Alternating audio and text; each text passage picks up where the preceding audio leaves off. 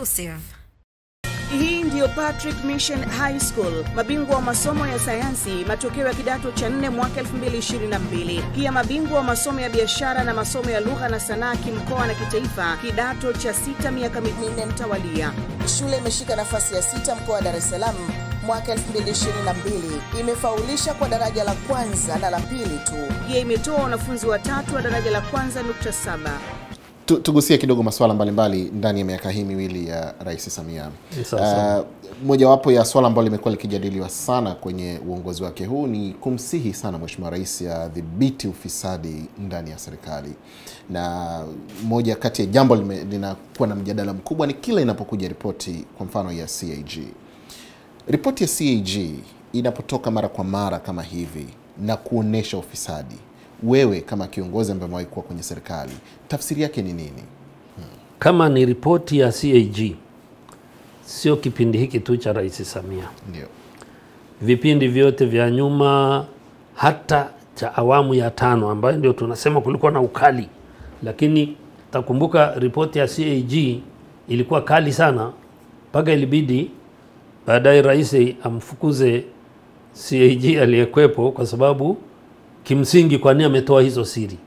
okay. ilikuwa sababu. I mean, ndio lengo ilikuwa kama kitu kama hicho mm. kwamba yani ehe. Sasa kwa hiyo ripoti hizi zinapotoka za, za, za CAG mimi, mimi si, si, sitetei ufisadi hata siku moja, na hata wakati wangu nilikuwa mkali sana na mambo ya ufisadi, ila zinapotoka serikali inatakiwa ijibu maswali yale yaliyoulizwa. Sasa ikisha yajibu yale yaliyo ambayo sasa yame yame yame yame yame yamekuwa cleared yame yameonekana si tatizo. Sasa inabaki na yale ambayo ni tatizo. Sasa inatakiwa hayo ndio sasa baadaye bunge yashughulikie pamoja na serikali ili wananchi sasa tupate taarifa kamili. Yes. Maana ile tu hesabu tu peke yake imetoka mara ya kwanza, unaweza ukakuta robo tatu serikali ita, itapata majibu, lakini kutakuwa na robo ambayo labda haitakuwa na majibu. Sasa hilo ndio tatizo, lakini kimsingi mimi nasema ufisadi ni kitu kibaya cha hovyo, ni lazima kipigwe vita, na serikali lazima iwe, iwe kali sana kwa watu ambao wanafanya ufisadi. Ila tu nachotaka kusema ni kwamba tusije tukadhani jinsi taarifa ya CAG inavyotoka kila kitu kitakuwa ufisadi. hmm. Kuna mengine tu hayana hayaja, haya, kwenye ukaguzi wakati huo walikuwa hayajaonekana au yako njiani au hivi, basi ndio inapokuwa tatizo. Unapoona sasa ripoti kama hii ya CAG inaibua maswala mengi, pengine yale yale kila mara, wewe unakuwa na maono gani juu ya bunge ambalo linapaswa kuisimamia serikali? bunge inatakiwa pia iwe kali zaidi. Huo ndio ukweli. Bunge, bunge inatakiwa iwe kali zaidi. Ina kazi ya kuisimamia na kuishauri serikali. Sasa labda kama serikali haikubaliani na ushauri wa bunge, lakini kwa kawaida hakuna serikali serikali ya demokrasia inayokataa ushauri wa bunge na usimamizi wa bunge. Kwa hiyo kwa kweli mambo haya yanapojitokea mara kwa mara lazima tukubali kwamba kuna tatizo katika sehemu uh, kubwa kabisa ni serikali, lakini na bunge nalo labda haifuatilii. Kwa mfano yale ya mwaka jana ambayo CAG aliyasema, Ndio. serikali imejibu. Sasa inatakiwa bunge ipate yale majibu mm. na iseme kwamba hili sasa limeondoka, hili tumeridhika, hapa bado hatujaridhika. Sasa serikali sasa iwajibishwe pale, kwa maana yenyewe iwajibishe wale wanaohusika Hmm. Kwa hiyo bunge na kazi kubwa sana ya kufanya sana. na inabidi iongeze kasi kwenye kufanya kazi. Yaani lazima iwe, iwe, iwe na ukali zaidi. Ndio maana ndio maana huwa ndio maana huwa tunapenda bunge lenye, vya, lenye wabunge kutoka vyama mbalimbali. mbali. Ni afya sana kwa afya sana kwa bunge mm. na ni afya sana kwa nchi. mm. Hiyo ndio kitu watu wa, hawaelewi. Watu wanafikiri uh, ukiwa na bunge la chama kimoja ndio, ndio jema. Hapana, hiyo hata mm. mimi nimeshaulizwa mara nyingi nikasema ukiwa na bunge la upande mmoja au la chama kimoja ndani mm. ya mfumo wa vyama vingi Sao. ni tatizo Mheshimiwa Rais anapozungumza baada ya kupokea ripoti ya CAG, yale anayoyasema huwa yanakuwa ni mapendekezo ama maelekezo. Kwa mfano yeah. akitoa mfano uh, kwamba kuna kunaonekana kuna mapungufu kwenye fedha labda za halmashauri kwenye zile mikopo ya asilimia kumi, akisema kwa mfano pesa hizi sasa ziingie kwenye mfumo wa kibenki ili wanaokopa pesa hizo wakazikopee benki. Huo unakuwa ni ushauri, mapendekezo ama ni maelekezo? rais ni mara chache sana kushauri sasa rais amshauri nani rais akisema kitu chochote ni amri na ni maagizo wala sio maelekezo tu ni agizo. Analolisema rais ni agizo. Kwa hiyo sio rais hana mtu wa yeye ndio anashauriwa. Yeye yeye yeye. Rais bwana ndio mwisho. Kama mambo hayafanyiki kama anavyosema, maana yake ni nini? Kama hayafanyiki anavyosema ni jukumu lake kuhakikisha yanafanyika. Rais akitaka lifanyike hakuna kinachoshindikana. Nani anapaswa kuyafanyia kazi rais anapotoa maelekezo? Au, sasa au iko mfumo sasa. Eh, waziri mkuu ndio mtu wake wa kwanza kabisa kuyageuza yale kwenda kwenye utendaji. Sasa waziri mkuu anajua anayapeleka wapi.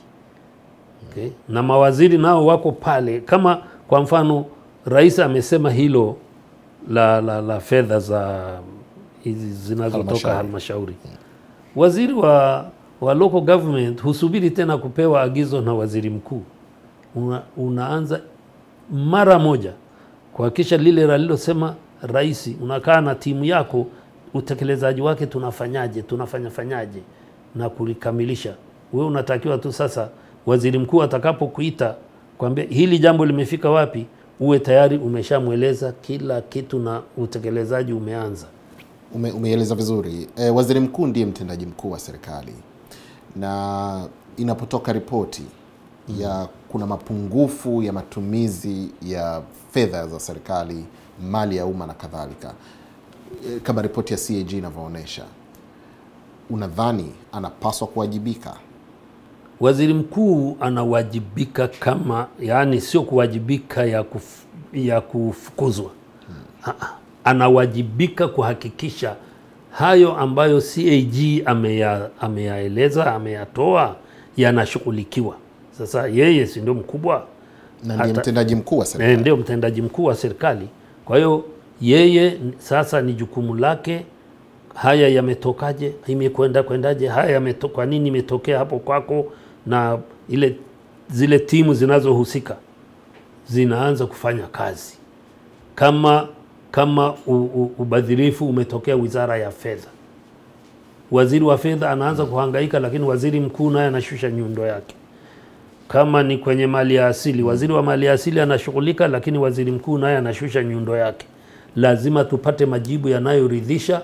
Hizi fedha kama zilionekana, hazikuonekana, ziko wapi? Nionyesheni ziko wapi sasa.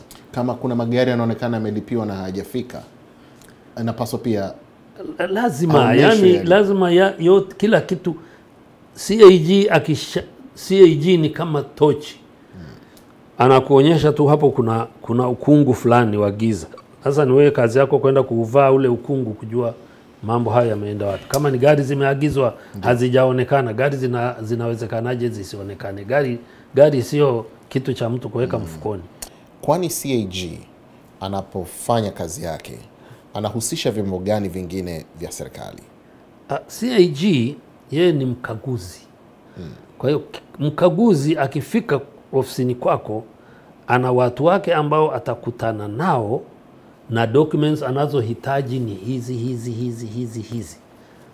Kwa hiyo akifika kwako CAG timu yake ikija kwa mfano of 24 itahitaji documents zote za mambo ya ya mali na, na, na, na, na, na fedha na kila kitu, na atakutana na maaccountant na maauditor wa, wa DA 24 atakagua zile nani hii kama unapata fedha kutoka serikalini, fedha ulizopata ni hizi, ambazo umetumia ni hizi. Haya, kila hela uliotumia risiti yake iko wapi? Kama unasema tu umetumia haina risiti, maanake huo ni uwizi, anauandika ni uwizi, au anaandika fedha hizi hazikuonekana zimetumika wapi. Sasa atazipeleka kule.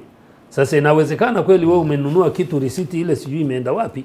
Hasa utakapo, inawezekana sasa inabidi uende kule ulikonunua ili kupata risiti au nini au kopi yake whatever, mpaka na yeye aridhike kwamba hii sasa ni sahihi. Basi ikishafika hapo sasa ndio zile ambazo tunasema zina, zitafutwa, lakini kuna zitakazobaki. Hizo sasa zitakazobaki, serikali inatakiwa izishughulikie kwa maana ya sasa, kama ni kuadhibiana, ndio hapo na bunge lielezwe kwamba kwa zile hoja za mwaka uliopita hizi hoja zimesafishwa na CAG amekubali, hizi hoja zimeshindikana. Sasa hizo zilizoshindikana ndio hasa sasa una, unaweza ukaieleza kwamba hapa sasa kuna harufu chafu. Exclusive. Hii ndiyo Patrick Mission High School, mabingwa wa masomo ya sayansi, matokeo ya kidato cha nne mwaka 2022. Pia mabingwa wa masomo ya biashara na masomo ya lugha na sanaa kimkoa na kitaifa, kidato cha sita miaka minne mtawalia.